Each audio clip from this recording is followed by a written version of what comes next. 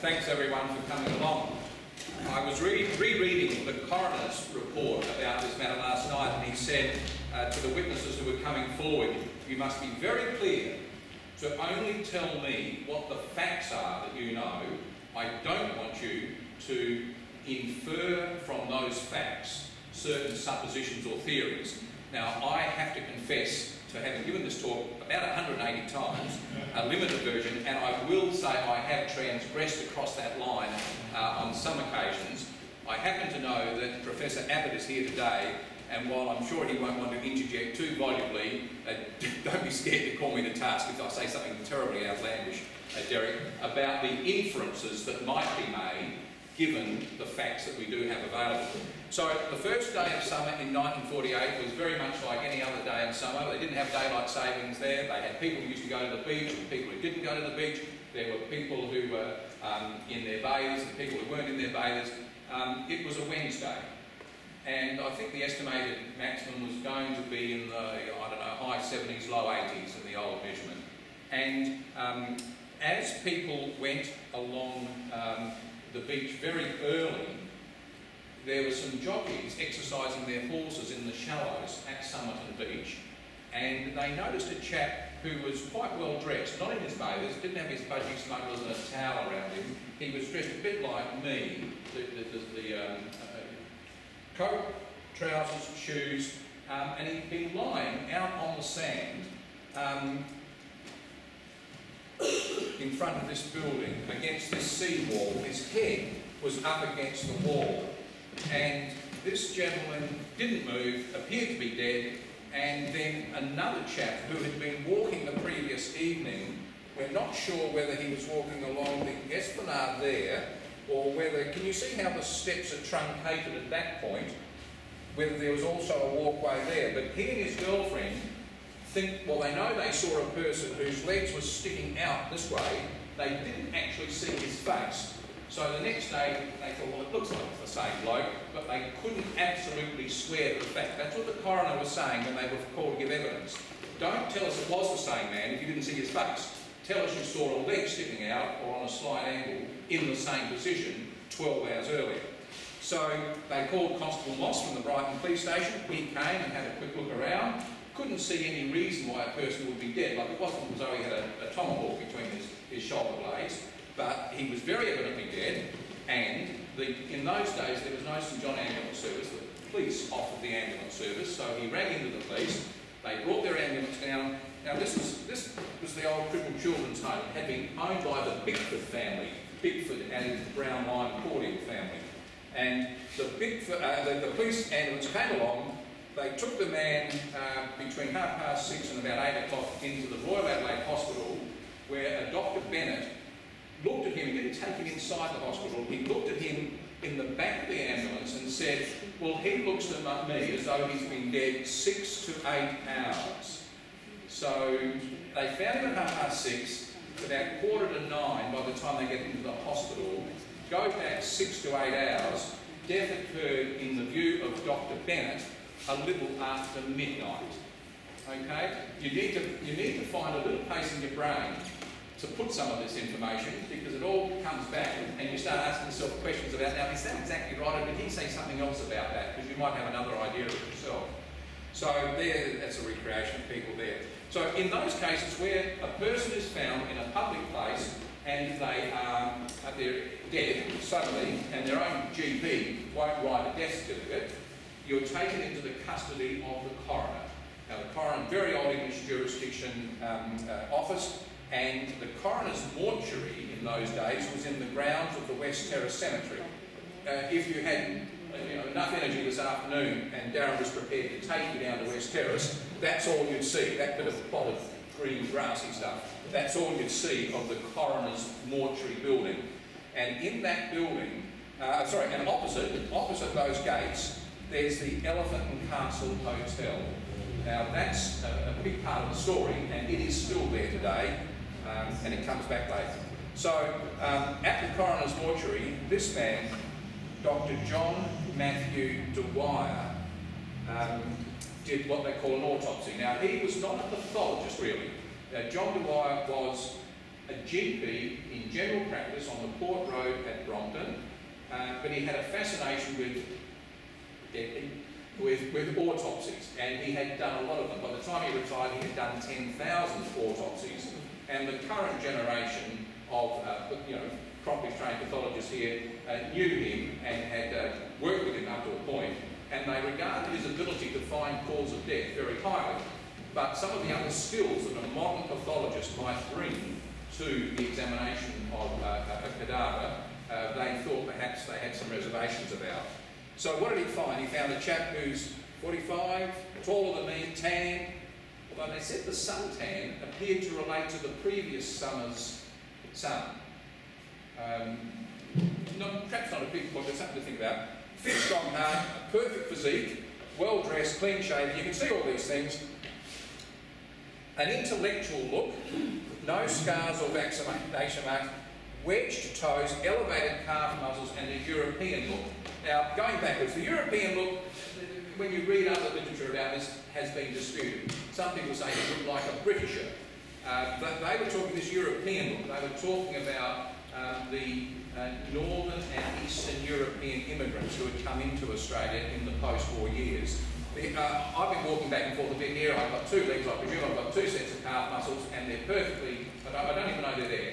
But the instant I bounce up on my toes, I can feel them tense. They rise up in the back of your, your leg.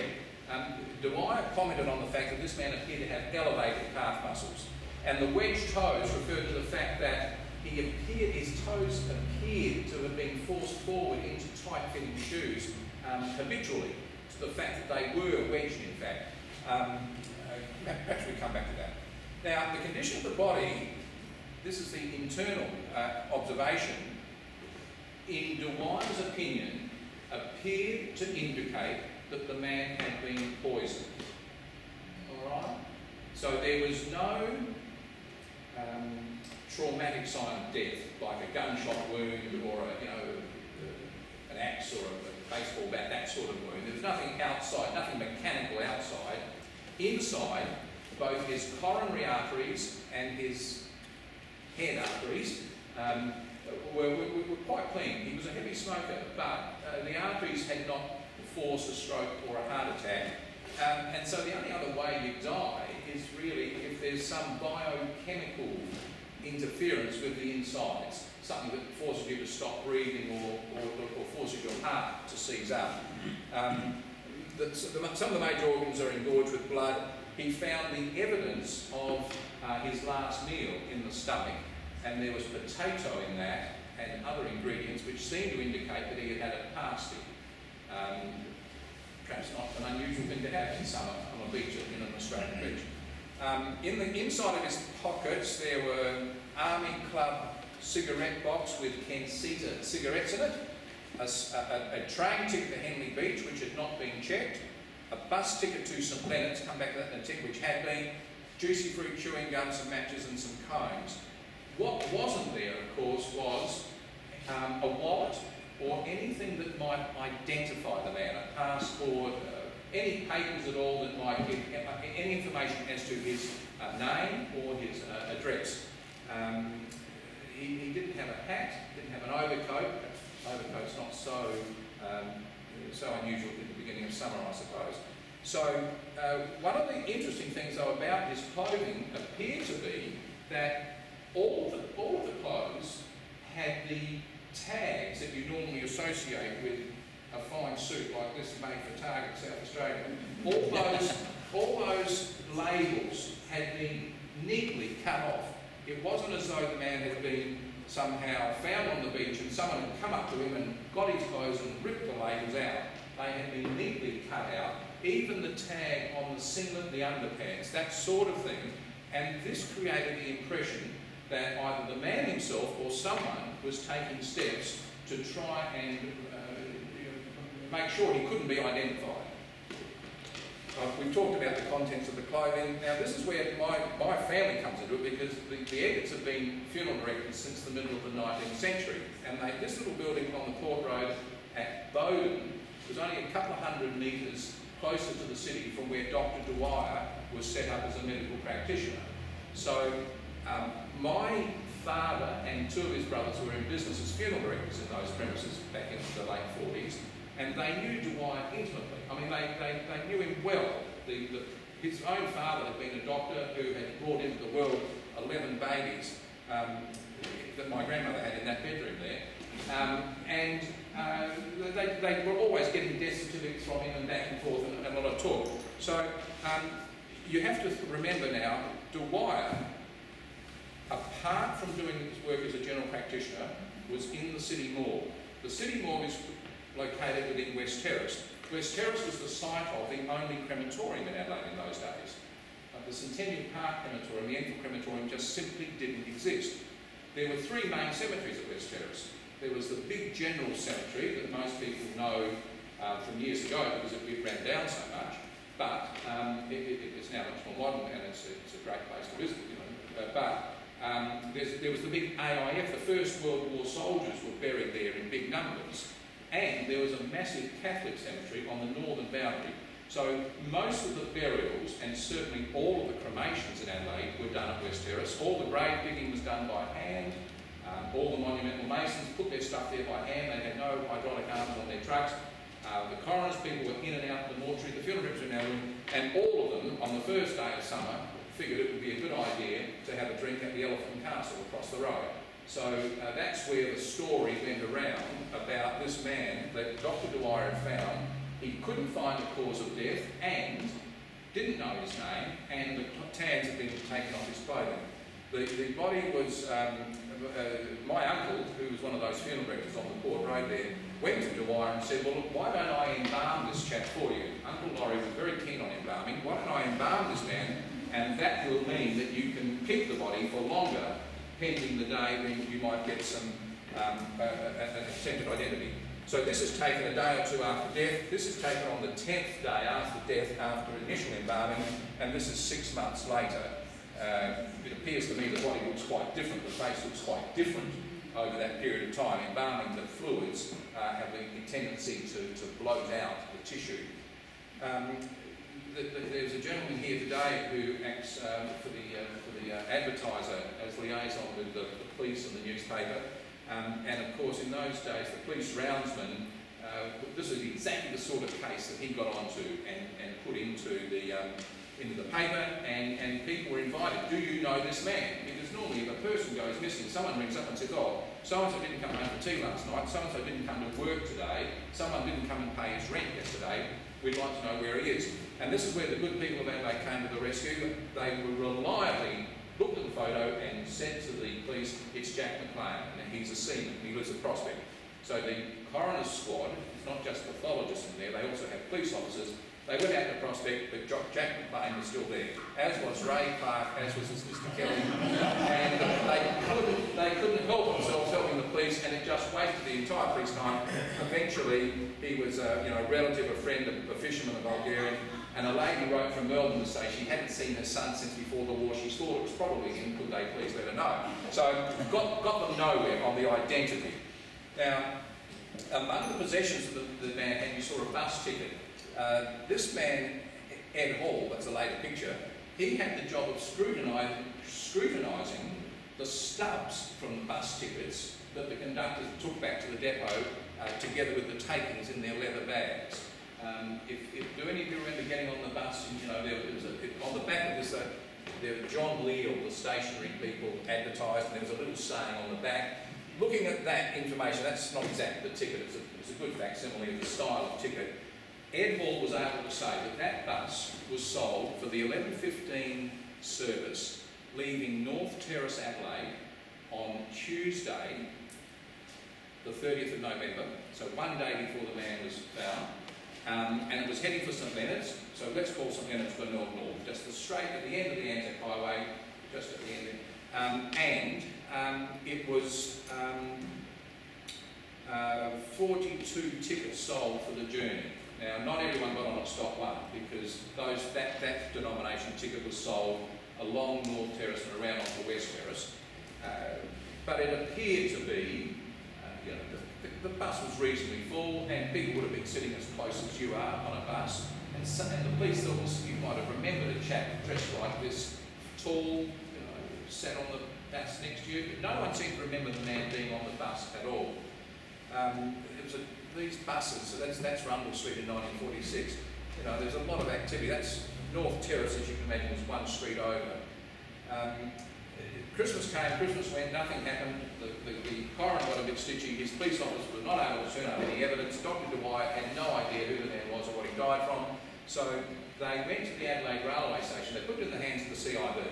And the detectives went to the railway station and went to the uh, unclaimed luggage department and said, did somebody come in here on or about the 30th of November last year, deposit luggage, and then uh, to come back to it?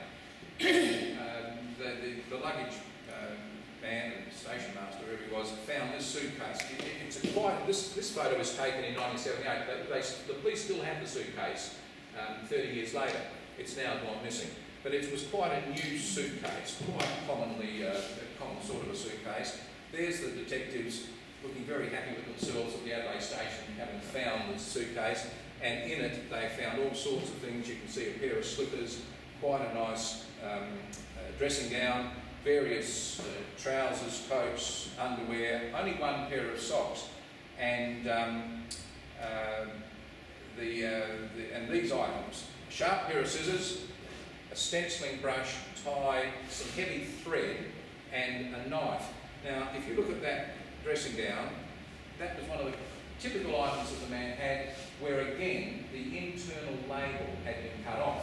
So they don't know that this is the man's luggage, but they gradually put together evidence from the style of clothing and the, um, uh, and the evidence of this man, Mr. Hugh Pozza, who was a tailor.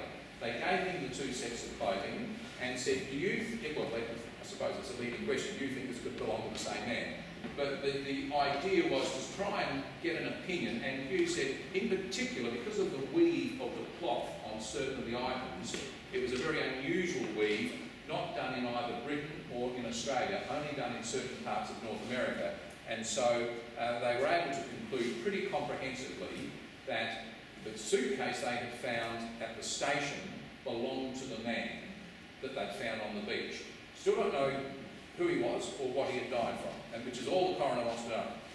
Um, now, this is typical of what my uncle collected at the time. Because he'd been involved in the embalming, he took a, quite an interest case. He slipped out of the newspaper and wrote in purple pencil 15149. So this involves um, what they found in the suitcase. They found that roll, that's a card of barber thread and when they put that thread under the microscope and then compared it with the thread on a button that had been re-sewn on the trousers, remember the days when men had button-up flies, there were not more buttons on your trousers than there are now. One of those buttons had been restitched and the thread matched. So this was more than just circumstantial evidence. They were getting pretty close to being, um, they had the right man.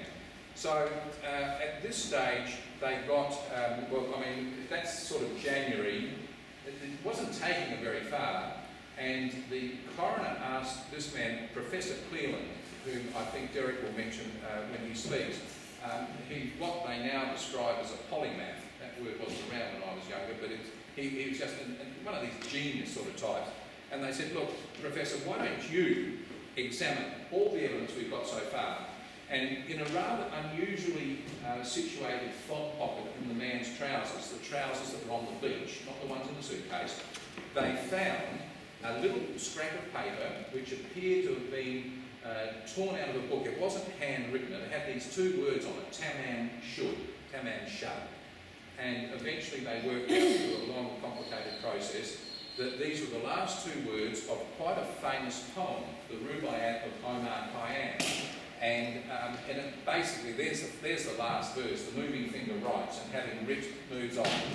Nor all thy piety which a little can, nor all thy tears wash out a word of it.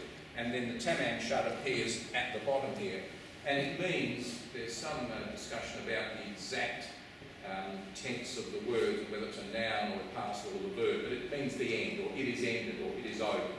So there's a dead person unidentified, no cause of death, found on a beach with this hidden in their fob pocket. What conclusions do you draw from that? Suicide? Uh, yes. Um, possibly.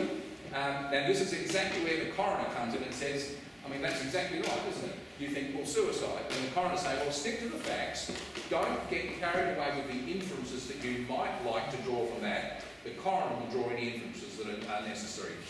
Um, so they took the man's fingerprints, and I've got the thing uh, for, for, Professor Abbott today to uh, have a look at those fingerprints again. Um, and they sent it all around the world. Now, of course, through Interpol, Interpol at that stage had no jurisdiction beyond what was called the Iron Curtain. Remember the geopolitics of the time had, you know, someone had said it was like an iron curtain had come down over the east of Europe, but he was, this man came back a clean skin. There was he'd never been arrested or fingerprinted for any criminal matter in any of the big jurisdictions where he might have um, been. This man comes into the picture then, it's um, Mr. Paul Lawson. He, was, he called himself a preparator at the uh, Adelaide, at the South Australian Museum. He's still alive, I think. He must be 98 or something now. And he, um, uh, he was asked by the coroner to prepare a plaster cast of the man because ultimately they were going to have to have an inquest. And uh, he did so, and uh, that, that is still down in the, um, in the Police Historical Museum at Thebarton. Um, the authorised the burial of the body, and guess who the funeral directors were who got the job? There was my Uncle Laurie, the man who had embalmed the body, and his younger brother Jack, who was my father. This man is a chap called Claude Trevelyan, and he uh, was a funeral director in a smaller way out of Norwood, and he just loved funerals, and so when the editors were busy, he used to come give them a hand, and that leaves four other, four other people. Um, this gentleman is the Salvation Army officer from Whitmore Square. Now, I don't know if any of you remember the days when the Salvation Army officers used to go around the pubs and they'd rattle a tin and sell the war cry, and the idea was, oh, people here drinking in pubs on Friday nights. Um, the, the, um, they, you, would give them a donation. Well, of course, this man, because he would have frequented the Elephant and Castle Hotel, um, he was asked would he lead the funeral services. He knew about the case. Leo Kenny was the licensee of the uh, Elephant and Castle, and um, he'd taken quite an interest in the case, and uh, he, uh, he was asked to be a pallbearer. The other two gentlemen, one's the police roundsman and one is the secretary of the Grandstand Bookmakers Association. Now, the, uh, Kenny had horses, and the Grandstand Bookmakers Association met in one of his back rooms. So they passed around the hat and raised sufficient money to lease a grave at West Terrace so the man would not be buried as a pauper. Um, that was fairly common in those days. Sorry, being buried as a pauper was fairly common. Anyone of indigent means could be buried, but they, there was no pomp and ceremony about it. You just got an unmarked grave somewhere. So the um, and the police roundsman was the man who had actually alerted them originally to the, uh, the fact that the words came from the Tamat, from the Rubaiyat of Omar Khayyam. Very, um, very plain little funeral, there it is, and um, within, a, within a very short time, a monumental mason from Keswick uh, did up the grave and put on it a headstone that says, Here lies the unknown man who was found at Somerton Beach 1st of December 1948. There it is. Now, this is another Cleland. This is the coroner, the state coroner today, convened an inquest and uh, sought uh, evidence from a whole number of people, some of them I've mentioned, and others as well. Now, one in particular he, he asked to come in was a Sir Stanton Hicks, um, very, very prominent um, uh, professor at the university who had many, many different strings to his bow, and he had examined a lot of the evidence, in particular, a lot of the matter relating to poisons. Um, and, and um, I'll leave it to Derek to talk about Stanton Hicks, and we can, you know, we can tease a bit more about the with questions later on. The, the advertiser sort of, um, uh, so, oh, that's, the advertiser, Doug, sorry. This was the article that appeared in the Adelaide Truth. Doctors differ. So Dwyer said, look, I can't find a cause of death, it must be poison, but the government analyst um, couldn't find any trace of any known poison in the body. Now remember, poisons were a lot more common those days. You could buy all sorts of rat poison and rat killer just at your local hardware store.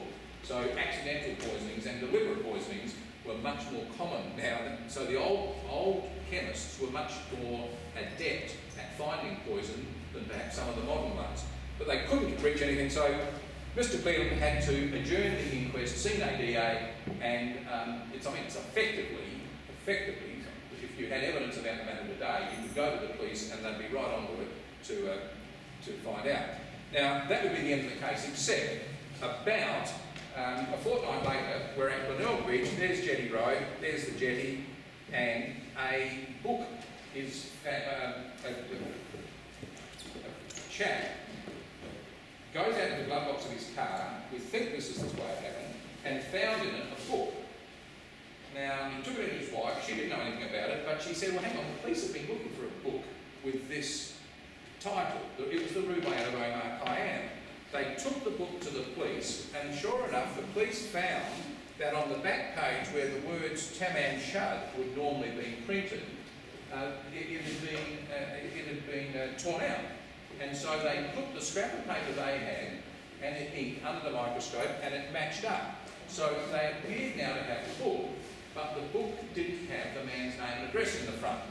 Um, a day or two later, one of the police officers found on the back cover of the book this five lines of what lettering, which you know some people call it code.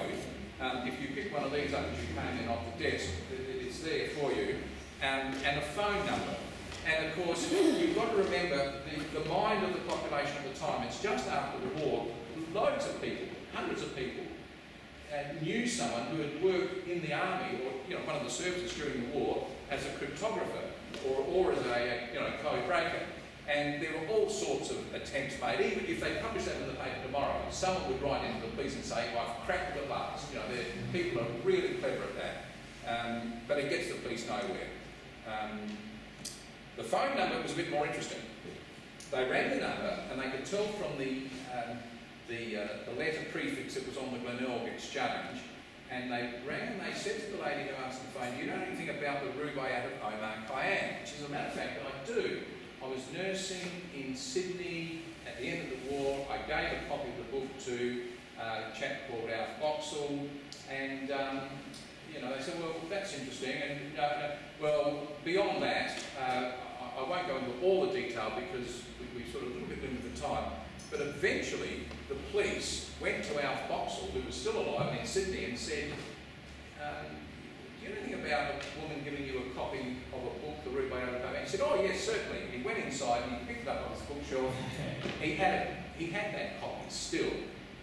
So now there are two copies of the book, but this nurse, her phone number was somehow linked to the book that was found at the Glenelg. At that point, I normally give up. I just can't get my head around exactly what did happen, but we might solve it today. There's uh, Stuart Littlemore interviewed Alf Boxall on TV about 1978 and described him as being somewhat evasive. Um, the South Australian Truth is at the front page down there in the back. Solved the mystery 10 years later. This is 1959. All turned out to be a hoax. There was a chap in New Zealand in a prison who wanted to get out of prison for a day to talk to the police they'd give him 25 pounds.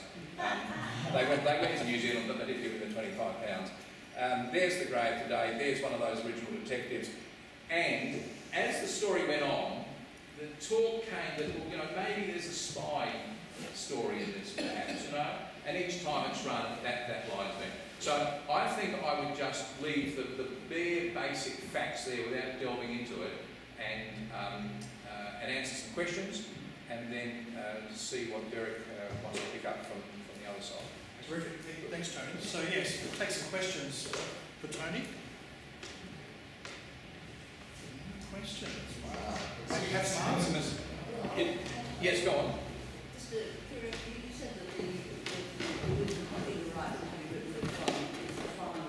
Yes. Sorry, it's not the final verse. I, I, you're quite right. I played those slides around last night and I mixed it up. The final verse is, And when thy foot with shining foot shall pass among the guests are scattered on the grass, and in thy joys there and reach a spot where I made one, turned out empty glass. I beg your pardon. so that other verse, the moving finger right, is, is probably more commonly quoted one. Thank you. Oh, everyone's on their toes today. Thank you. yes, sir. Footwear. I mean, these days we leave a distinct footprint mm. of shoes to wear.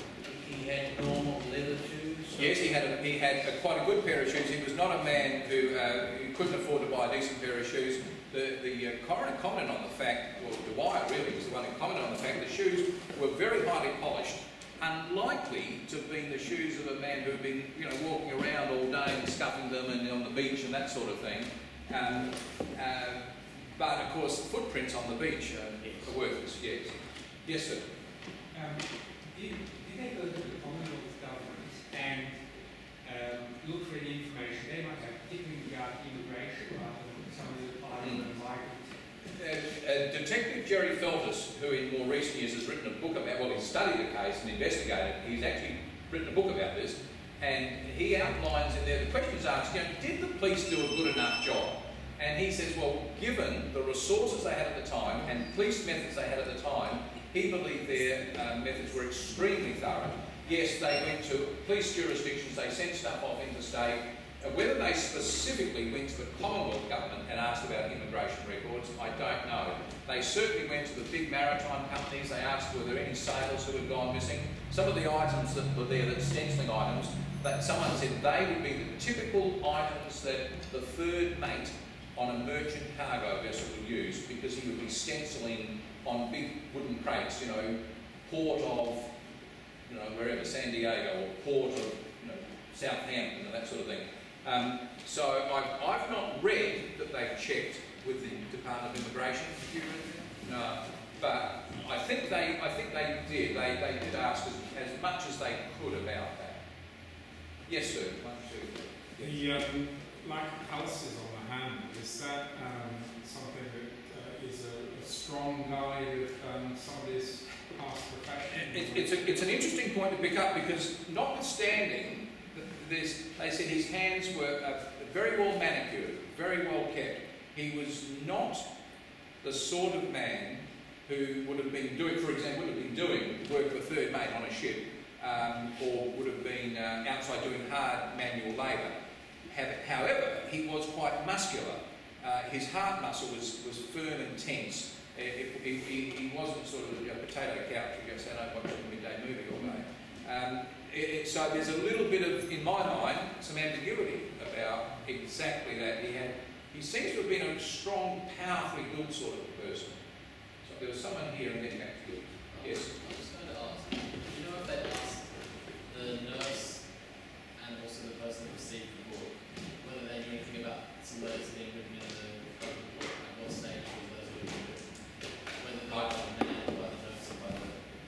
Um, interestingly, uh, no, I don't know if they asked, did they know anything about letters being written in the book. The book that Alf Boxall had, which he showed to Stuart Littlemore in 1978, the, the nurse had actually written in uh, ink inside, not the back cover of the book, but inside maybe the third page of the book, quatrain number 70 from the book which is um, which is one of the verses. The, the, whole book is about the whole poem is in four line stanzas, and she had written this, rewritten this out, and it's sort of in the words seem to be making some sort of an apology about something. It's a bit hard to tell what, what it really means. And of course, this book's not written in English; it's written in Persian. There've been many attempts to translate it, and the copy that most people rely on is a, a, a Professor Fitzgerald, who was an, an Oxford University don in the 1860s, uh, and his version um, was is mainly the one. So, but you can get other versions of what the what the verse is too. So the short answer to your question is I do not know if they asked them specifically about the code the back or about the letters. Okay, I may have to stop questions Yes, there yes. because uh, we want to move on to the next speaker. So thank you, Tony, very much for his presentation. Okay, well, uh, greetings everyone. My name's Derek Abbott, um, and I've been asked to talk about the university's involvement in the Somerton case. And as you'll see, it starts right from the very beginning of the case. Uh, first of all, you'll know what the uni looks like. Started in 1874, and um, that's the building uh, I work in. Uni's famous for uh, these three Nobel Prize winners at the top. We educated them, and there's a couple of other guys there that are equally famous. So, to the case itself, uh, as Tony said, it uh, all starts on December the 1st, 1948, where the guy was found dead, where X marks the spot. This is the locality, this is what it looks like. Um, here's Glenelg Jetty, as you all know. The man arrived by bus somewhere out here off, off the photo, and it appears that he walked all the way down uh, to the beach and where he was found dead here. Uh, this, this dotted line here shows where Somerton Beach begins. It's on this side of the line and Glenelg Beach is this side. And the lady who he had the phone number of, she actually lived here, which is just five minutes walk from where he was found dead. Um, so that's, that's the mystery there. So, where is the involvement of the uni? So it starts in 1948. So first thing is, uh, as Tony showed, uh, an autopsy was done, and it was done by um, John Dwyer, as, as Tony said, and um, Dwyer uh, was nicknamed by the students at Adelaide Uni Barb, Barb Dwyer, and uh, he actually taught uh, pathology at the uni to some of our students. So here are his autopsy findings. I've shortened it a bit, just the key things. That the spleen of the man was three times bigger than normal and uh, there were parts of his liver that looked destroyed. Um, so it, something like that doesn't just happen overnight to have a spleen three times as big as normal. So it's obvious that this guy had some sort of pre-existing illness before he died. The other observation Dwyer made is the guy had a perfectly healthy heart, as Tony mentioned. However, it, it was heart failure that was the final cause of death, so there's a little paradox there. I won't draw any conclusions, I'll leave that to you. Uh, some observational findings. The guy had grey eyes, he had mousy coloured hair with red flecks, grey insides. Uh, the guy was uncircumcised. Uh, he had no sand in his mouth, little sand in his hair, fine physique, well looked after. Uh, his back teeth and his lateral incisors were missing. He didn't have a dental plate. And if he was speaking, the missing teeth were not noticeable. So the lateral incisors are here right in front. And so if you didn't see gaps if he was speaking, that means the gaps were closed up. So quite likely, because it's on both sides, that's quite likely that's a congenital thing rather than he lost his teeth. Uh, so what are exactly the lateral incisors? So they're these guys here. They're between the middle teeth and the canine teeth. And here's somebody you will know who's got one missing, uh, Tom Cruise. But he's only got it on one side. Somerton Man had it symmetrically on both sides.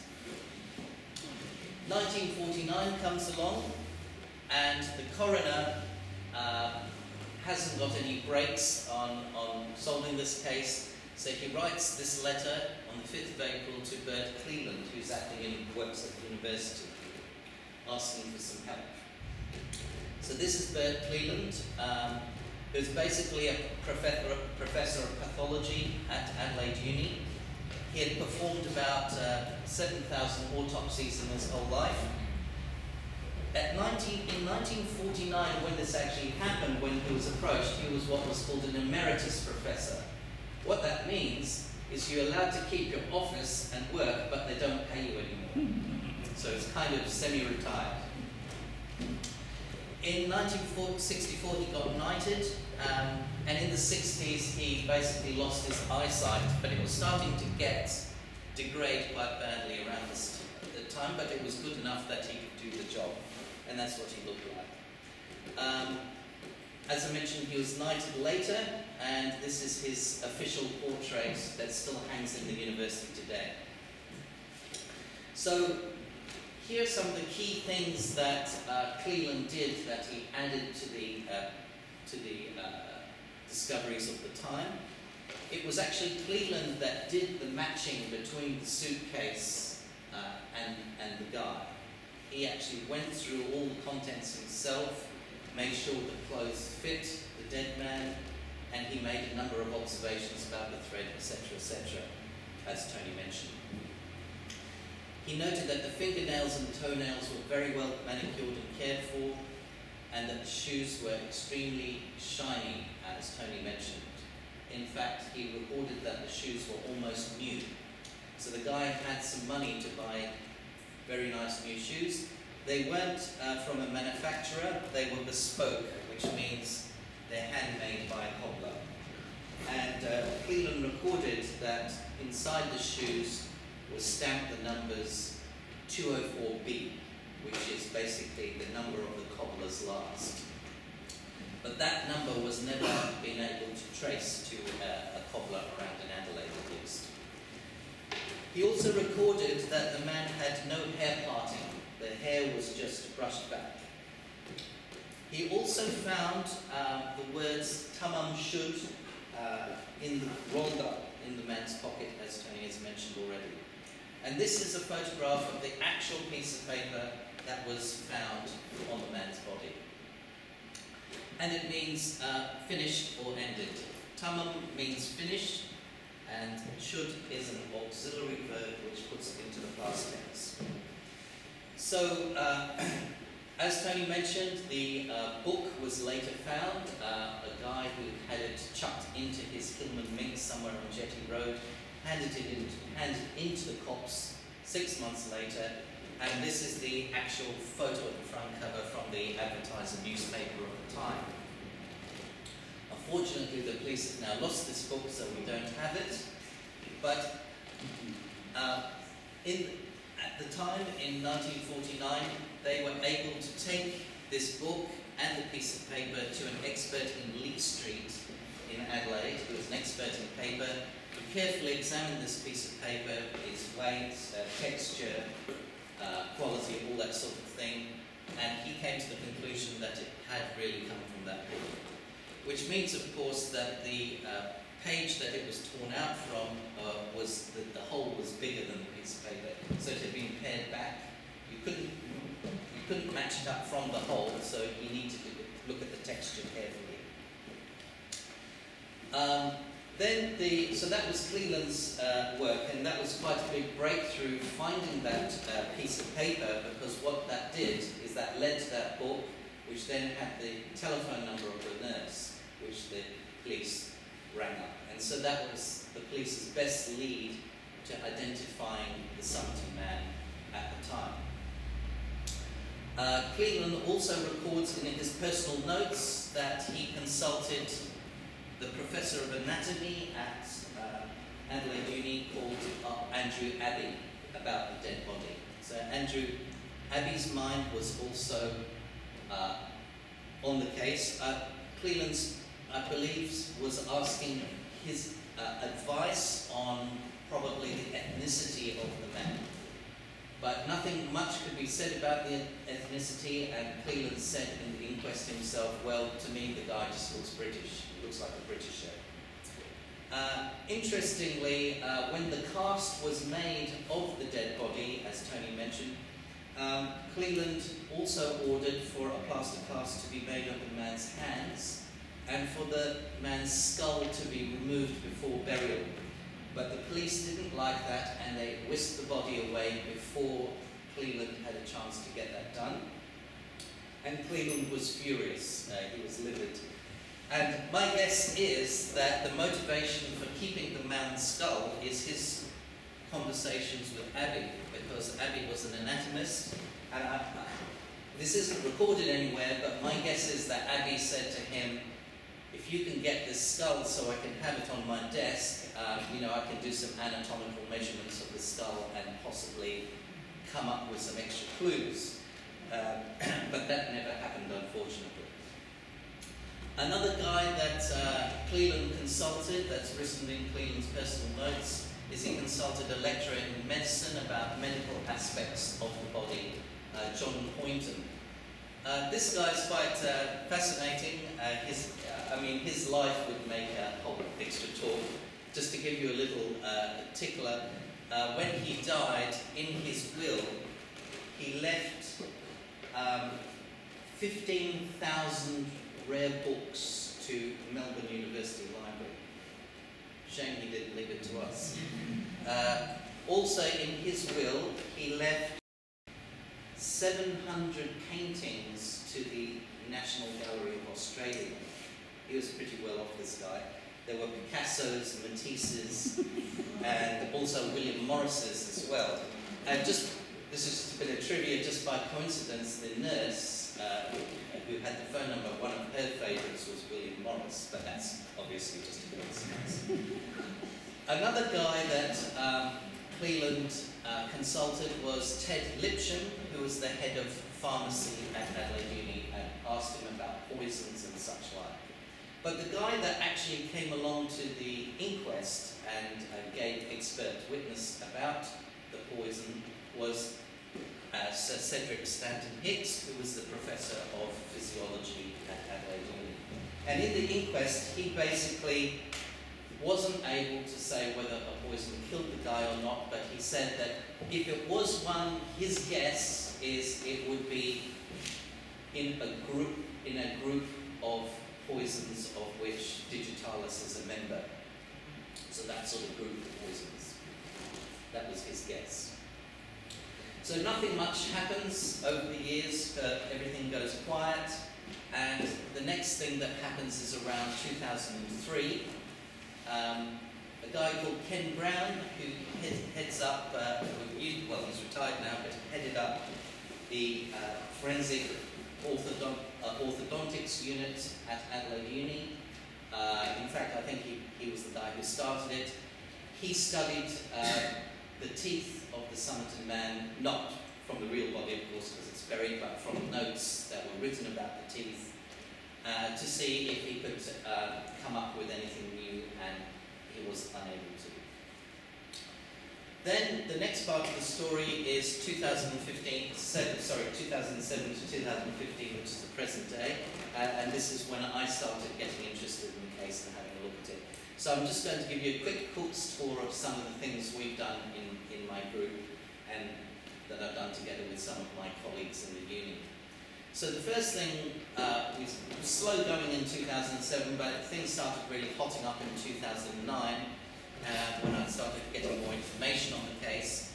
And around 2009, I started my first honours project group, uh, and we started looking at the code letters of that were on the back of the book, and we started doing statistical analysis of these letters to see. The, well, the actual task I set the students was not to crack the code. I said, don't crack the code. What I want you to do is tell me what it isn't. So I, they had to go through various World War II types of coding schemes and eliminate them and to say, okay, it's not this one, it's not this one, what is it? Uh, another thing they did is they got 20 of their friends drunk with beer and got them to write random letters on pieces of paper and they statistically analysed random letters written by drunk people and compared it to this. And it appears that the statistical structure, uh, it does show some structure that it is meant to make some sense and they aren't simply just random letters. So we did conclude that and we eliminated um, over time, not just this group but other groups in future years, we eliminated 40 different types of ciphers that were known at the time. So uh, our latest hypothesis from statistical tests is we found that these letters most closely match the first letters of English words, not the body of the words, just the first letters. So this year's group, and I'm happy to see one of the members here, Nick, in the front, so you can talk to him later. Um, he is tasked with this. Given that we believe that these are the first letters of words, there's two possibilities. One possibility is that, hey, these are just the first letters of words, and so uh, it's just a mnemonic. So how can we possibly find out what it says? What would be great is if we could just do a Google search uh, and just go say S star, A star, M star, S star, etc., and search the whole World Wide Web and find phrases that match those first letters and try and fit together phrases uh, and, we could get guess at what the whole thing's trying to say. So uh, that, unfortunately Google doesn't allow you to do that, as you know. It doesn't allow you to search just for the first letters and, and then have a wildcard. So um, Nick's going to write some software that will search a, a database of uh, words supplied by Google uh, where they give you sequences of five, up to five words in a row, and we'll use that data set to do searches. The other possibility is that maybe the poetry book itself was used as some kind of one-time pad where uh, some sentence was encoded by uh, going to a particular word in the poetry book, looking at a, a letter that you're interested in. Find, say if I was interested in the letter A, I would go and find the first word in the poetry book that has the A, and then go to the first letter of that word, and, and that A becomes whatever letter that is. So if H was at the first, I put an H there, and so on. And so Nick will also write software to exhaustively search through the poetry book and see if that one-time pad technique has been used to convert a sentence into first letters as a form of secrecy. Uh, so that's that's where we're at with the code, and so hopefully Nick will make some breakthroughs um, this year. Another interesting um, breakthrough um, that uh, we did at uni is uh, around 2009. I was just staring at at the Somerton man's photo that Tony showed you, and I was looking at the ear of the Somerton man, and I was thinking, there's something wrong with this ear. I, I don't know what it is, but it's really strange to me. So I went to an anatomist at Adelaide Uni, and I said, can you tell me how to describe this. Uh, this year looks unusual to me, but I don't, I don't have the words to describe it. And he says, yes, it's very simple. Simple. He says a normal person's ear has a very a narrow cymba. There's this hollow here, whereas the Somerton man has a very big cymba. And so uh, he says that's very unusual, and uh, approximately less than 1% of the population have that. So that's quite a breakthrough because that's a very key identifying feature. Another interesting thing is, as Tony mentioned, the book was handed in on the 22nd of July 49.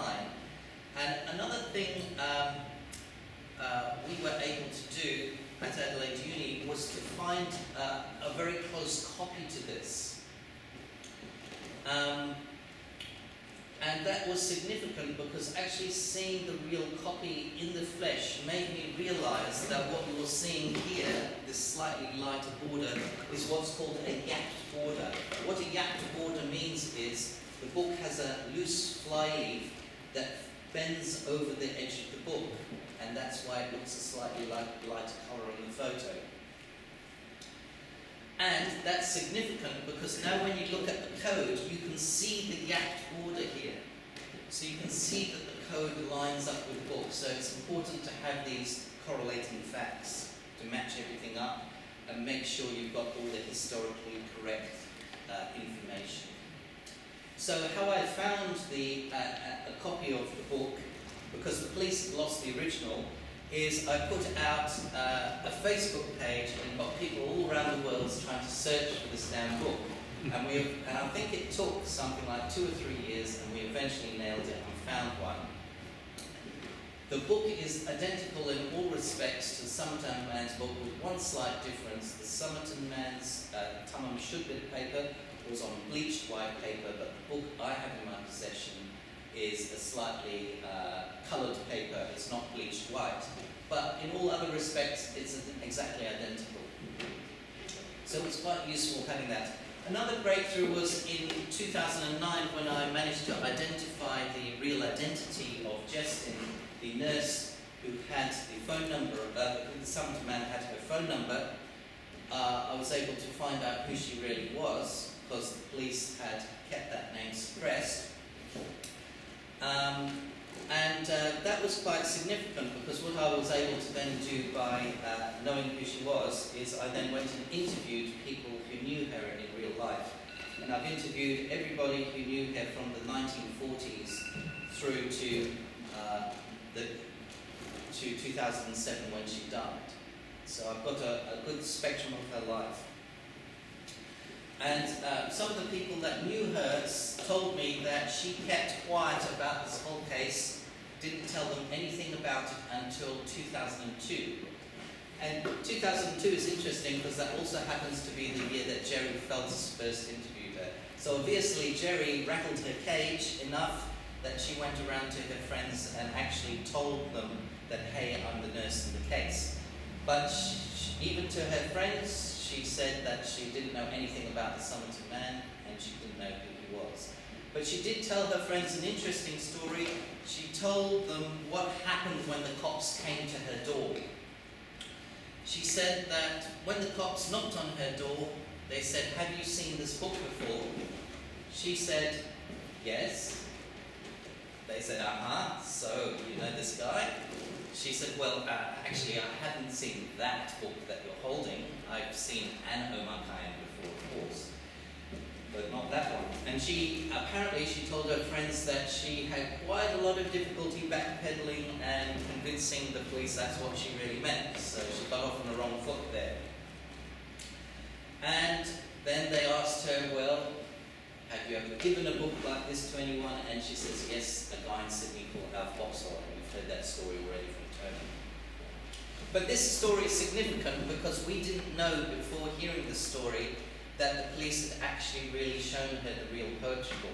And from her own story, it appears that they did. So that's a useful bit of information. And um, as Tony said, that she uh, wrote verse 70 in Alf Boxall's copy of the book. So uh, this is the actual short photocopy of that page where she did that in Alf's copy in Sydney. And um, knowing who she was is significant because by, I've got samples of her writing all the way from 1940 something all the way to 2000 and something, and I'm able to verify that that definitely really is her handwriting, um, without a doubt. Um, because one hypothesis before we knew that is could she have bought this book second-hand in a second-hand bookshop and could that have already been written on the book? So we didn't know. So until I was able to verify that, I wasn't able to say that, that she really wrote that, but I can now. And this is quite mysterious that she signed it Jestyn because that's not her real name. And all the people that I've spoken to that knew her over the years never ever heard her use that name. So it seems to be a special nickname that she invented with Alf Box, for Alf Boxall's ears only, as far as I'm aware. This is Alf Boxall's book, the front cover, which exists today.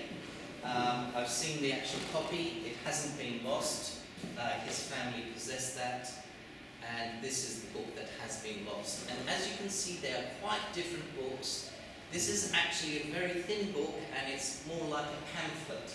And it would fit quite nicely into my jacket pocket, whereas this is a thicker book and would not fit in my pocket. So it's quite likely the Somerton man carried this around in his jacket because you can see the flyleaf has been eroded here on this corner, and you can just imagine it going in and out of his pocket and eroding that corner. Uh, here's a quiz. Can anyone guess who this dead person is? Marilyn Monroe.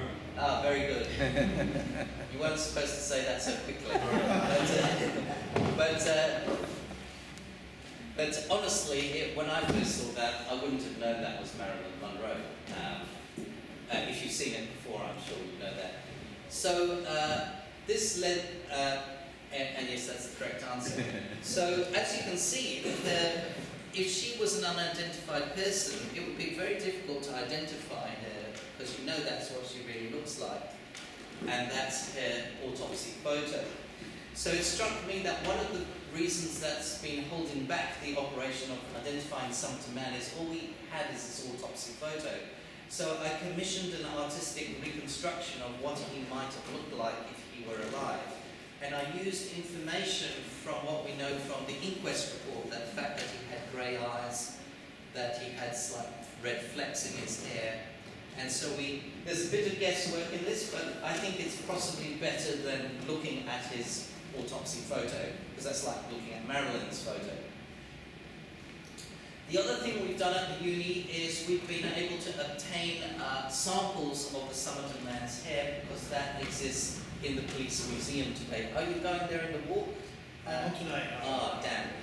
So you can't see that yourself in the flesh, but in the police museum, uh, they have samples of his hair, and so I was able to, uh, with their permission, obtain some, and uh, so we've looked at his hair carefully under a microscope.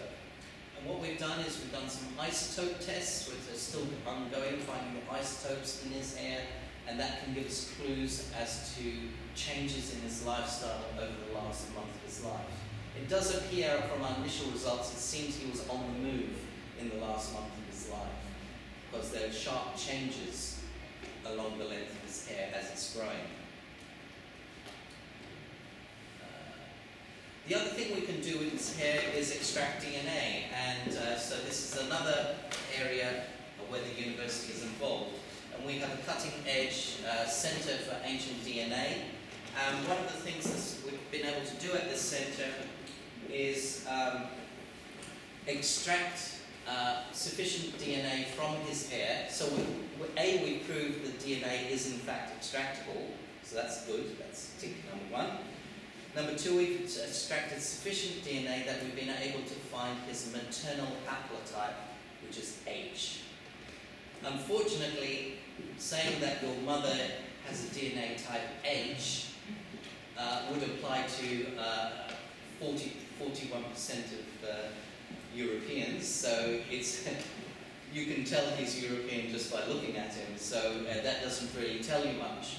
But handing over to Colleen, who's going to do the next part of the talk. She's now going to explain, uh, as we dig into this and get more and more DNA information from the hair, what are some of the cool things we'll be able to do in an attempt to identify him. It does appear the con concentration levels in the hair are quite low, and to do some of the really cool stuff that Colleen can do would in fact require an exhumation where we can get a better source of DNA from the man's teeth. Um, and so more about that later. So that's the end of my talk, but just to finish, I just make you aware there is a book about this case written by Gerry Feltus, the policeman that uh, Tony mentioned. Uh, there's also uh, a book by Kerry Greenwood, the fictional writer.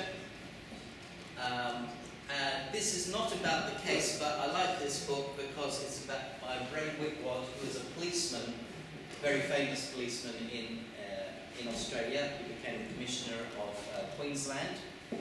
And um, he was involved in stamping out corruption in Queensland. Corruption in police force, that is. And uh, it so happens that in the 40s, when the Somerton case was going on, he lived here in Adelaide and was an Adelaide policeman. And so he's got a whole chapter on here talking about the police force in the 40s and what it was like.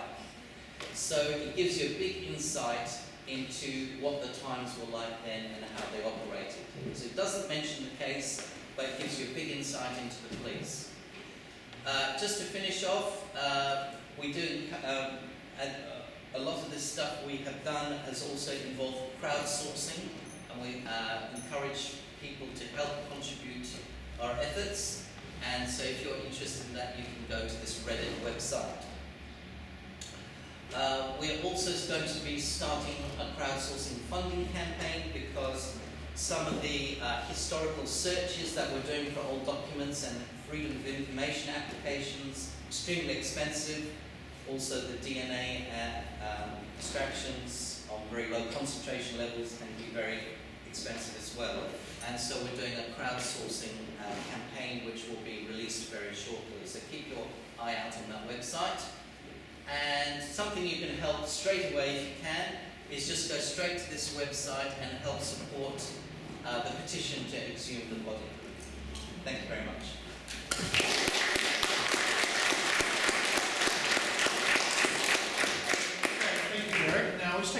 Questions for Derek. You might have a stretch as well. Um, before the colleague starts. Questions? Was there any jewelry found on the floor? Rings or anything? Uh, that's a good question, and no, there was no watch or rings or anything of that nature on the man. Uh, however, something's very strange. There's that Jestyn advertised in the newspaper about four or five days after the man died. She put a little classified ad in the Tizer saying lost Rolex Tudor gold watch. She didn't specify if it was a male or a female watch, but it's very strange that the timing of that that is straight after his death, and one wonders whether that watch actually belonged to him. But that's a speculation. But no, no, no items linked on that. Yeah. Having explained three times normal size, would that create discomfort or feeling of unwellness? Um, that's a good question, and um, I will have to follow that up to find out. I have talked to some medical colleagues, and they're a bit vague about that. Some say not necessarily, and some say yes. But so I, I need to follow that up. That question. Yeah. And uh, um, the nurse, uh, is she's your family alive? Uh, yes, they're still alive, yeah. although she isn't. Right. Okay, we'll moving. Um, thank you very much, Derek, and now we welcome Colleen up to uh, explain about what can we do with this DNA. Thank you very much for inviting me to talk about DNA identification, one of my favorite subjects.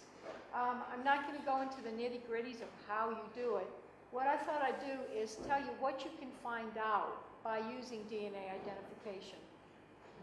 Uh, Let me figure this out. Okay, first of all, let me give you my point of view on DNA. We know about autobiographies. Everybody's read a biography or an autobiography of a well-known person. Maybe some of you have written your own. Well, my opinion, my experience is that DNA is kind of a biochemical autobiography. And if there was some way we can we could read that autobiography, we could find a lot about you biochemically. Um, DNA in its in a vacuum, just your DNA itself is meaningless. Really, to get any anything out of that, you have to compare your DNA with other people's DNAs. And as you probably know, the comparison these days can produce information about a disease you may have, uh, your hair color, eye color, what population group you belong to. Like Derek mentioned, that Somerton man belonged to haplogroup H. That is a very large population group in Europe. Well, you know, this doesn't really get us too far down the road with, with the Somerton man because, you know, initially maybe if he suffered from some kind of rare disease that would help. But that is not our first concern. Our first concern really is personal identification. Who is the guy? And in a very easy, simple case, if this was straightforward, that would lead to immediate family members that we could ask about more about who he was, where he came from. There'd be a lot more to that. Let me tell you how this works. There are two kinds of DNA that are used for human identification. One is nuclear DNA, which is the chromosomes we've always grown up to know and love that float around in your nucleus. The other is mitochondrial DNA, which are these little floaties that are outside the nucleus of a cell. Forgive my technical terminology there.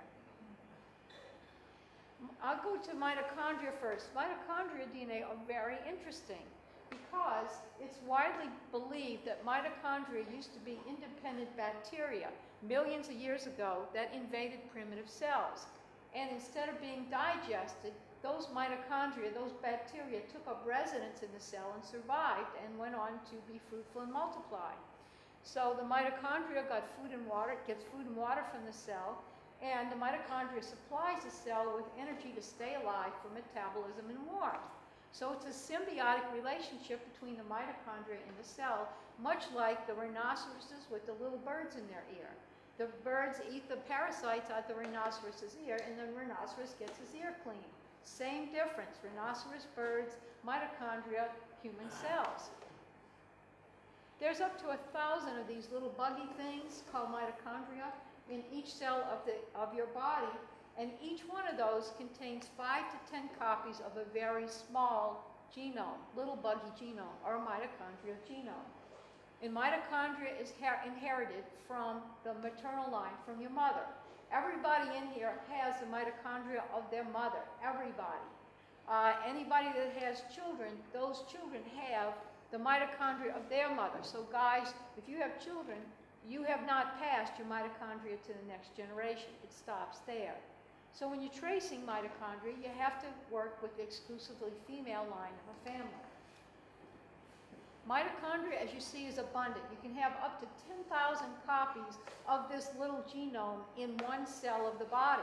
So because of the abundance, it's very useful for identifying human remains. This is how it works. You find remains somewhere and you extract mitochondria from them, mitochondrial DNA, and you make a guess. You say, okay, I think my candidate for this person is Mr. Z. The genealogist steps in and works uh, the genealogy along the exclusively female line of Mr. Z's family, starting with his mother, grandmother, up, and so sometimes looking at aunts, whatever, always female, and then comes to some kind of ancestor that has maternal descendants, comes back down along the female line, and finds living descendants can be male or female because everybody inherits mitochondria from their mother, gets the mitochondria from those descendants, and the question is, does the mitochondrial match? Do the living mito, mito of the living descendants match miss the candidate's mitochondrial DNA, the mi- mitochondrial DNA from the remains? If the answer is yes, you've made the identification. If the answer is no, you've got to get another candidate and start over again. Nuclear DNA, the other kind of DNA, there's 23 pairs of chromosomes in the human cell. Not every being on Earth has 23 pairs of chromosomes. In fact, an onion has an onion has 43 pairs of chromosomes. So if you're mad at your spouse, you can just say, "You don't have the chromosomes of an onion," and you'd be right. Okay? No, heard it in DNA class today. Okay, so uh, every every pair you get one uh, one of each set, one one pair, one of each pair from one of each of your parents. Women have 23 pairs of match sets. In the analogy of a book, it would be as if these are chapters in the DNA book, and one chapter says she has a blue card, and the other one chapter says she has a brown card. That's actually a match set. How the little details of how that's manifested is a little bit different, but it's a match set of statements. All of these are match sets of chromosomes. However, men are different. The last in the in the last set is a mismatch for a man. A woman gets an X from each of her parents, but a man gets an X from his mother and a Y from his father. So where you have a Y chromosome, you have a man, and where you have a man, you have a Y chromosome. Women don't have that. The Y chromosome is interesting. There's only one copy per cell. Remember, in the mito, you had maybe 10,000 cop, 1,000 mitos, but then you had 10 copies in each one. So up to 10,000 allele polygenomes. But for a, for a Y chromosome, you only have one copy, and it's very large. It's not, the mitochondrial genome is more like 16,000 bits long, but a Y, the uh, Y chromosome is more like 50 million. So, it, and instead of being passed along the mother's line, it's passed along the father's line because that's the male DNA. So when you compare those two, the Y DNA to the mito, you're going to find out that if you have highly degraded remains, the chances of you getting enough Y DNA, harvesting enough from all these cells, to get just those, right pieces of DNA, you know, and enough of the right pieces, is, you know, depending on the remains, is not the first thing you should think about. So Y-DNA is not as useful for identifying, although it, it is, can be used if you're lucky. So the, the process for identifying somebody using Y-DNA is very similar, except you start with the candidate and you work the male line of the family up to some convenient ancestor. You work your way back down along the male line until you find a male descendant. And the question is, does the Y-DNA of your male descendant meet, match the, the Y-DNA of the relative of your candidate match the Y-DNA of, that you find in your remains. If it matches, you've done it. If, you, if it doesn't match, you've got to start over with another candidate. It's trial and error. Here's a couple of cases I'm familiar with that I've worked on to give you, get your head around what's involved in this identification process. This was the identification of the unknown child in the Titanic. The death of the baby occurred in 1912. Uh, the baby was exhumed from its, its grave in Halifax in 2001, so that was uh, 78, 79, almost 80 years later.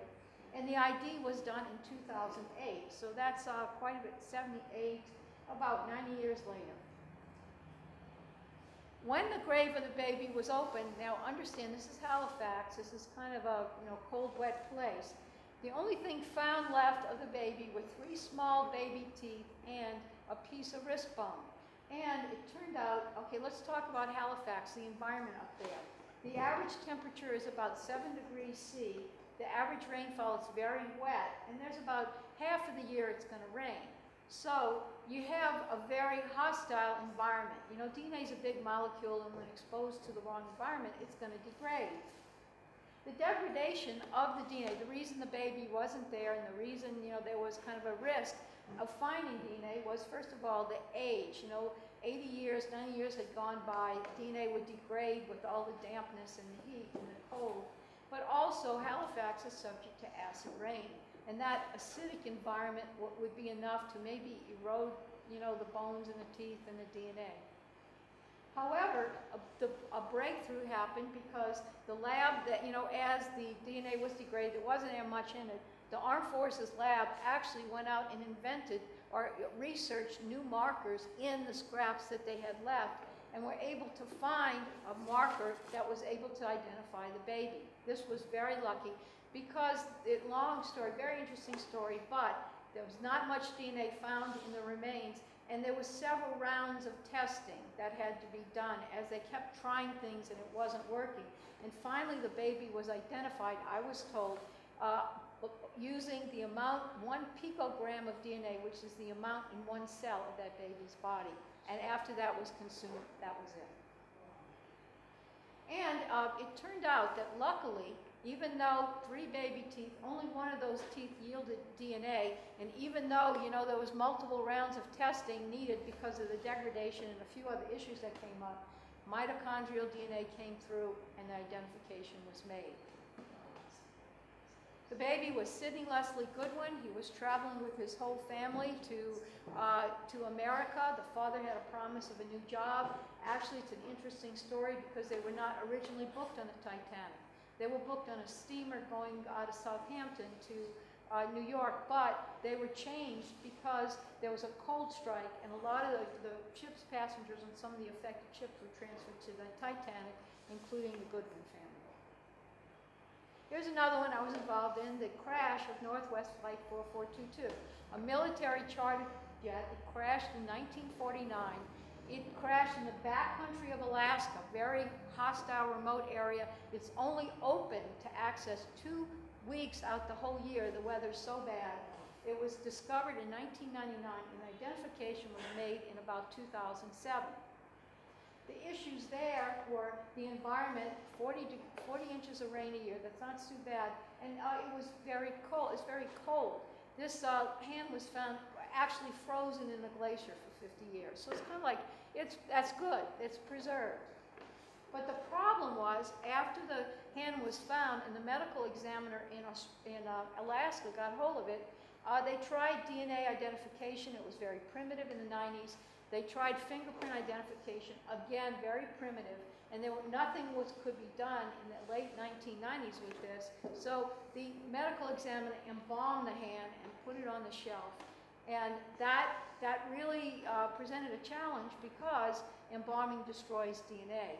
It, it makes it like duct tape, you know, it makes it wad up. It's called cross-linking. And when you try to undo it, you know, it shreds. So you wind up with these little teeny pieces of DNA you can't work with. So the breakthrough there was that, knowing this, that uh, there was a new uh, way that the AFDL um, Armed Forces Lab invented to actually dissolve whatever bone was left and allow whatever DNA was existing in the little cracks that the embalming fluid couldn't get to, then that DNA could be released into solution and the, the bone shards were taken away, the formaldehyde from the embalming fluid was taken away, and what you were left was the extract from the DNA, and the yield went up 25, I think, to 50%. They got more DNA and they were able to do the identification. The lab wanted to do this because this is vintage 1948. It was embalmed. The lab at that time still has a project to identify 869 unidentified uh, MIAs uh, from the Korean War, American MIAs, in the Punchbowl Cemetery in Hawaii, and they had all been very heavily embalmed in the 1950s. So the lab felt that if they could do the hand in the snow, because it had been embalmed, it was about the same vintage, that they could use any techniques that they discovered forward, they could use them forward to help identify these soldiers, and that's correct. That's what they're doing right now.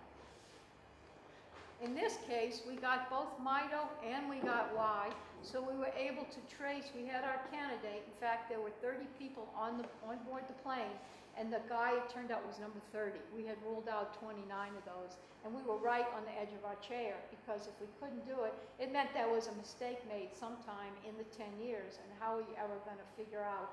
Maybe somebody sent their neighbor's DNA in, you know, something like that. But we did it. It was a real cliffhanger. It was the last guy. We got not only MITO, we got Y-DNA. We were able to confirm the identification of both sides of the family. And in addition, they turned out to be Frank Van Zandt, an American born in Vermont in 1911, died in 1948. And it's a hand, right? So it also became the oldest fingerprint uh, identification on record, 61 years. There was also a lot of innovations in fingerprint identification, how to revive this very desiccated old hand with almost no, nothing, no features on the fingertips left. The team did it. So this was a grand slam with both kinds of DNA and the fingerprint. You couldn't miss it. It was Frank Van Zandt. All right, the Somerton man, how does he stack up against these?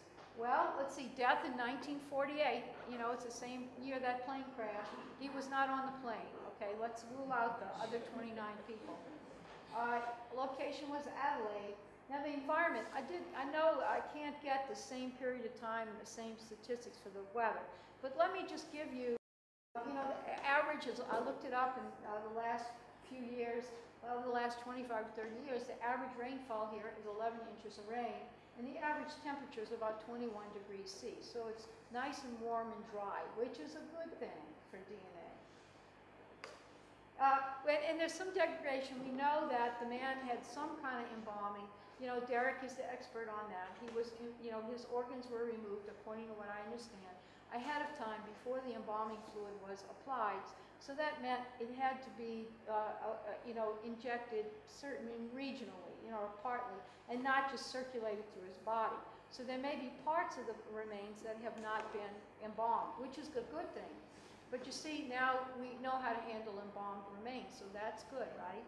And so, highly likely to me that there's DNA left. Because, you know, look, look at, we had the teeth from the baby that was almost 80, 90 years old. We did that. This man was, was buried in a le much less hostile environment here, weather environment, and he probably, his teeth are still there. You know, he probably not subject to much degradation at all. The hand was made based on DNA taken from the long bone of the hand. Again, a very hostile environment. It had been embalmed, but we know how to handle embalming much better these days. And the Somerton man probably has the long bones of his body intact, I would imagine.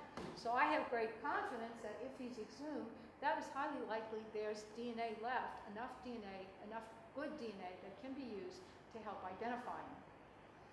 Okay, there's some good news and there's some bad news. The bad news is this we don't have a candidate. There's 7 billion people in the world. Which one of you wants to go first?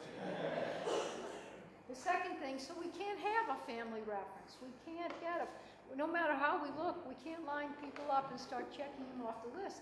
That list is 7 billion people long. If you want to confine your attention to just Europe, hmm, let's reduce it to about what? Uh, 7 billion, 500 million. Yeah, we got it way down there, didn't we? Uh, mitochondrial and Y-DNA, uh, you know, you can't do what I just described because you don't have the family reference. What do we do now? Well, there are a few things that, that we can, with places we can go with this. We're going to use genetic genealogy. How about that? I showed you this where, you know, I described how you could do DNA, forensic identification, find the family members, la la la, what I just said. Well, we don't have any family members. So why don't we do this? Instead of using the DNA of the Somerton man against the DNA of a supposed family member, what I propose is this.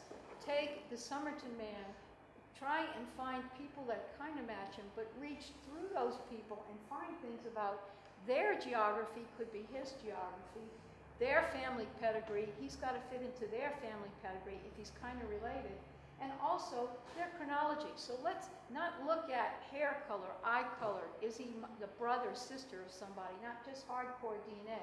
Let's reach through that and find a group of people he's related to, and, and because their social characteristics, their family history, their geography has to be his in a larger sense. Just like Derek said, he has to be European. That's the first step. If he's European, you have some kind of differentiation between if somebody's Native American or from, uh, you know, Africa or China. So, genetic genealogy would work like this. If we can get Y DNA uh, from this, the remains of the Somerton man, instead of trying to match it against who we believe is the son or uncle or cousin, why don't we do this? Why don't we realize that Y DNA is handed down along the direct male line of the family, and that's the way the family name is handed down. This has become a really hot item in genealogy these days, and there have been quite a few genealogists that have taken uh, DNA tests to study their last name. And in America, this is all the rage. I know a lot of people in Australia have done this. There are several companies that will test your Y DNA just for genealogical purposes. I have a Y DNA study going of the Fitzpatricks. I have about 300 Fitzpatricks from all over the world. My cousin here, Ron, is sitting in the front row. He is Ron Fitzpatrick. DNA wise, I don't think we're related. So even though we're kindred spirits. So that doesn't, that doesn't, DNA doesn't go tell you that. So uh, if, you, if we could get the Somerton's man's Y DNA out of him, why not throw it and do what the genealogists do? Just find his genealogy. You know, this is a hot item for male adoptees that don't know their, their last name. They'll get their Y DNA done, their Y DNA is thrown into the big database with the rest of the genealogists, and maybe a last name comes out which gives them a good lead. The statistics on this, there's about 400,000 people out there. There's about uh, 80 to 10,000 big and small databases where you can check to see if you match. Uh, public database, the biggest one is 104,000. The Scottish database alone has almost 7,000 people. Surname Project, uh, the biggest one, not surprisingly, is Smith. That's about 2,000 people. So that's a lot of people. And keep in mind that if you see the name Fitzpatrick in a database, that's not just one guy. That's all the Fitzpatricks in its extended family. So if you want to really give an estimate of how many people out there that represents, say you have 104 in Y search, that really, how many males per family? 50 or whatever? That could be several million people. And if you've had 400,000 people tested, that could be, you multiply that by maybe 50 people, uh, a, um, you know, a, a family, that could be maybe 20 million people represented by those 400,000. So if you take Y DNA from the man, you put it in these genealogical databases, you might be able to get his last name. Wouldn't that be cool? The other thing you can do is this. Oh, by the way, this has been used, I've used this successfully in uh, cold cases in the United States. And if I can't get a last name, sometimes I can get an ethnicity because some of those genealogists have a big Polish DNA study or a big Italian. So just the fact, the name Fitzpatrick Smith is not the end of it. I can look in ethnic, uh, ethnic studies, e- even if there's uh, not a study for a Castro Giovanni or a Zbigniew Brzezinski study. Those guys are lurking there in the Polish and Italian studies, so I can maybe be able to find matches or I can find at least the ethnic background of the guy in terms of nationality. Uh, the other, okay, there's lots of DNA I didn't say anything about. Autosomal DNA is the rest. It's the two X's on the female and all the other uh, pairs of chromosomes I didn't say anything about. You inherit one from each parent. So what, how they do this is this is a picture of 20, a little sketch of the 23 chromosome pairs. One, two, three, you can count one, two, three, four, five, all the way down to the X. And as, let's say this is a woman that has her, her autosomal DNA tested. What they do is the companies, the genealogy companies, test 700,000 points on your DNA. And they throw your points into the big database and they find out how many points you share with everyone else that have been tested. And the percent shared indicates your relationship with that person. So for example, okay, the less, the more you share, the closer you're related. The less you share, the more distantly you're related. So if I happen to pop my DNA in there and I come up with somebody who shares 50%, of their points with me, they have to be my sibling or my parent, or my parent. If uh, I find somebody that shares 12.5%, they're my first cousin. 3%, uh, my second cousin, and less than a percent, they'd have to be in the range of my third cousin. The closer you get, the more accurate the estimate. As you get further away, the statistics kind of get a little bit fuzzier, but this, and it's a little more complicated than this, but this is how it works. You get your points tested, you figure out what percent you share with somebody else, that gives you your relationship, an estimate of your relationship with that other person. Then you sit down with the other person and you say, gee, we're second cousins. Who were your great grandparents? Where did they live? What is their family history? What is their ethnic background? I want to compare them to my great grandparents to see if we might be related, if they might all be from the same town or something like that. Well, hypothetically, if we did this with the Somerton man, this is what we would come up with. This is a company that does this kind of testing. It's run by Mrs. Google, by the way. And this is uh, called 23andMe. And if we threw the Somerton man uh, DNA into the hopper, he would come up. Here's him on the top, Somerton man. And here's, say, like four people that come up to be matches. Okay, there he is. And here's the four names of the people. And here they give an estimate of their cousinship. It turned out in this hypothetical case, they'd all be his second to fourth, second to fourth. These are not particularly close, but just take it. This is just a hypothetical example. You see the second to fourth shares less than a percent. So in the range of third, I told you a third cousin shares less than a percent.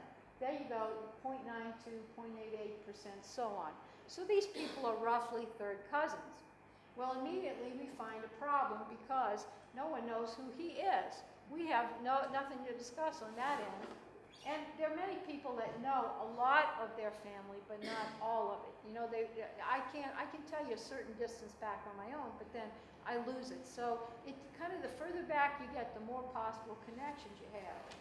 So we've got a problem. This is how you get around the problem. You say, you look, you ask the first guy in the list, Stan, you say, where, where are your parents from? Let's, let's not go the same thing like, uh, you know, I know you, we're related, we're cousins. Let's step beyond that and go into the geography, history part of the family, the, the kind of more social type stuff, or uh, what's it called, uh, ethnic type stuff. Okay, asking Stan, his, his mother and father, this is taken from another case. I just put the Somerton man on there to give you an example. Uh, this man's parents, one was from Romania and one was from the Ukraine. Fine, throw that on a map. There's a red balloon. Okay, let's say Thomas, his, his father was from, in this case, I'm, I, I spoke to him, his father's from Romania, his mother's from Egypt. She belongs on a different map for now. Okay, Jane, her, her uh, parents are from uh, southern Poland and Belarus. That's a green pin. Let's do one more. Frida, let's say that her parents, I interview her, and she tells me her, one of her parents is from Romania and one's from the Ukraine. Now, the summer Somerton man's not going to be related to both of those, right? We don't know which one.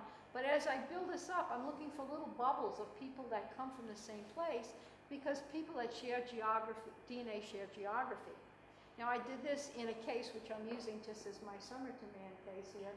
And after I had interviewed, you know, say six, seven of the top matches, and I asked them the same question, I came up with this. And you can see there's two bubbles there. One's in southern Poland and one would be in Romania. So I could say one of, the, one of his parents are from that geographical area and the other parent would be from the other. But I don't know which one's which. I'd have to do more thinking and more analysis. But you see what I'm doing. I'm not really caring how, if your great grandmother's my great grandmother. I'm past that. People can't tell me that because I, Somerton, we don't know. But what I'm doing is I'm reaching behind that into the geography, the history, and stuff like that. Furthermore, suppose that two of the people that come up on the people in Poland, in this case, suppose they know how they're related. They're related from John Smith, who, who was born in 1811. Those people might know how they're related.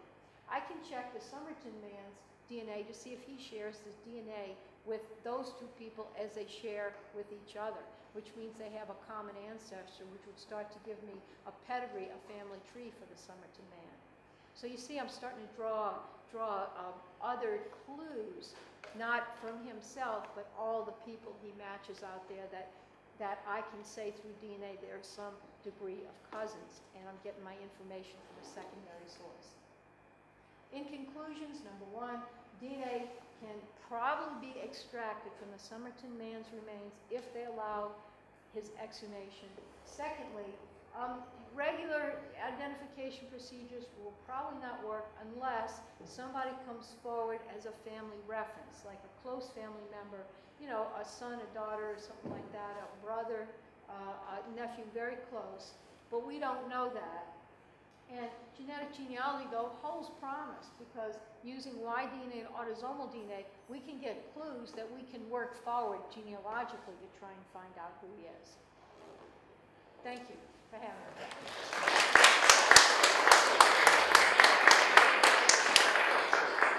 Okay, thank you, Colleen. That's a crash course in, in DNA. Fantastic. Okay, now some questions for Colleen. Yeah. Yeah, um, I'm, I'm I'm very from European background. That name reminds me of a postal which reminded In fact, it's the first of December. Most Australians would have had light clothes on, and he's got a really well uh, tied outfit on. A lot, a lot of Italians like to go out and dress up when they go out, even in the night police. So uh, it sounds to me a bit like European. Also, the fact that all the ladies have been cut off for whatever reason, it could be that when, when he came here, he was trying not to be trapped down. So maybe he was actually hiding from a group of people. Maybe he was a member of the Communist Party and was on the run.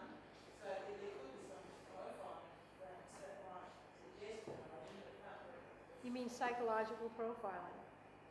Yeah, I agree, absolutely. And I think uh, Dr. Abbott's kind of onto some of that, which is very good because in some of the cold cases I worked on, they've profiled, in one, they profiled a guy to the nth degree, but I gave them the last name and it was like pop.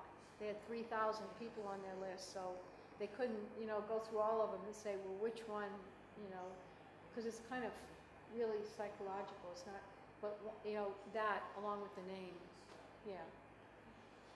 Yeah, Oh, this might not be so much DNA, but with the degeneration of the liver that they found on autopsy. Sorry, is that all right? yeah. Uh, Yeah, I'll, we'll try to direct Yeah, that yeah, question as well, yeah. But the other thing, um, I actually know Professor Henry, he actually gave me a book. Um, could that have been from one of these poisons, or, or, or would- was, or would it be a condition that was long term? Uh, that's a good question, and we don't know. There's another, yeah. Yes.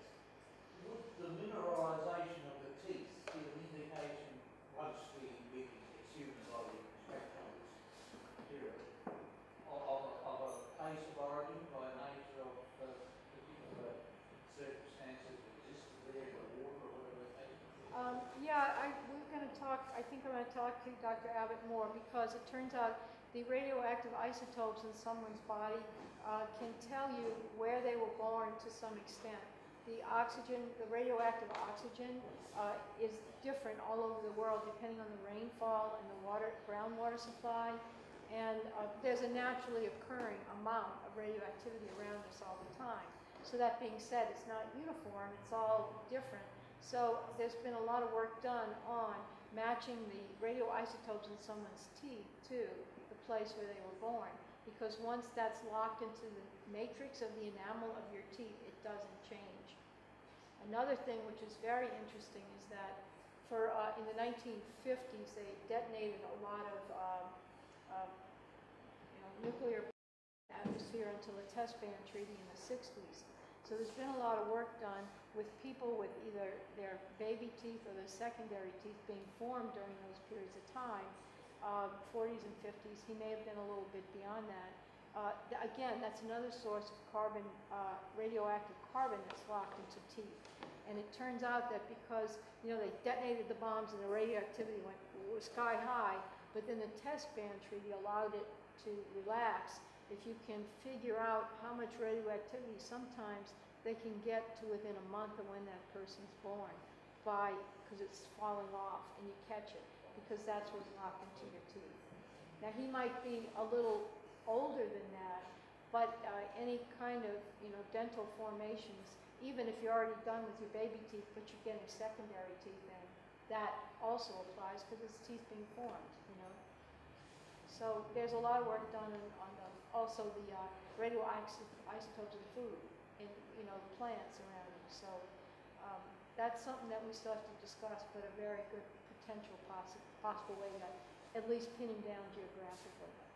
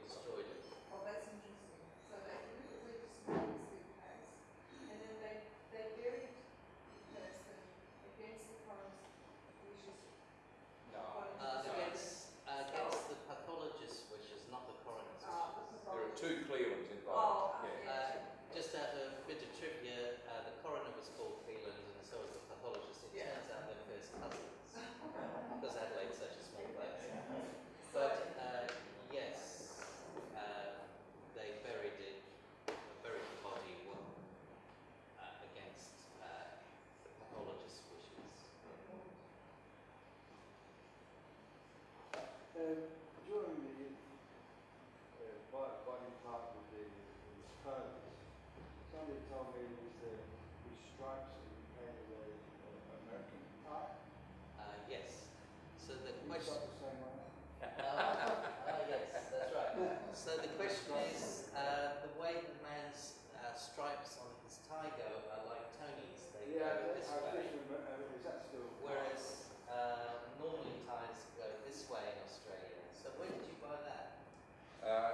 what was at a second-hand shop, and I cut the labels off. So you know,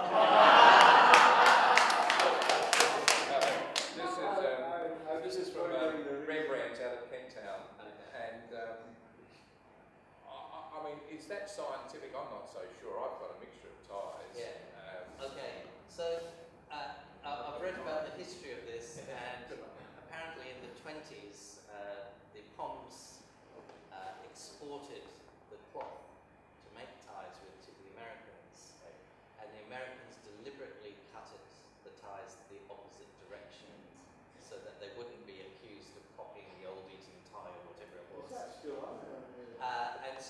kind of stuck as a tradition that American ties go one way and Australian and British the other. However, in the 40s that was more regimented, but now, as you can see, it's a bit slack, and he's managed to pick up an American style tie in Australia. but uh, if you look at uh, oh, historical photos, you will see that is generally the case, that Americans yeah. have it that way. But what was your question again? About was it still uh, active American the Uh, back in then, Now. Ah, yes, if you look now, even now when you look at photos of American presidents, I, I keep my eye out for the sort of thing that always goes Tony's way. Yeah. You can check that. You've up, Curiously, you know those three pictures we had of the man a day after embalming, 10 days and 6 months? By the time the 6 months photo was taken, the, there had been weepage from the autopsy and embalming um, incisions, and so both the shirt and the tie that he was wearing in the six month photo were not his at all, they were my Uncle Laurie's. Because they, yeah, they'd stained. Okay, look, I'm conscious that we've got another part of the afternoon to do yet. Um, I'd like to give our speakers one last chance to say something, if you'd like to. Any No, I'm good, I'm good. Okay. I hope he gets exhumed, I hope, because remember, it's not just, the story. It's not just him. He had a mother, he had a father, maybe brothers, sisters, family out there that could be looking for him. So there's also some kind of concern for the living family members to bring them closure about what happened to him, not just to find out who he is. Thanks, Greg. Um. Uh, no, I- No, Okay. Well, thank you again. Please thank our panelists.